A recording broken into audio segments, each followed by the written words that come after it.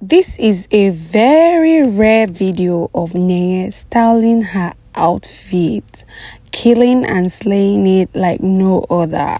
Welcome back to my YouTube channel, beautiful people. It's your girl Nenye, and I am here to show you how to make this dress. First of all, congratulations to us. Just hit 1k subscribers. Thank you all for believing in me okay so before i proceed i want us to study the details of this dress. If you notice this dress has um half cut and overall from the shoulder and then it has um a padded bustier. All these details are what i'll be teaching how to create in this video. So if this sounds like what you want to see stay to the end of the video. Whenever i'm making a half cut dress i love starting from the lower bodice so the measurements you need for lower bodice is your waist circumference, your hip circumference, and the length.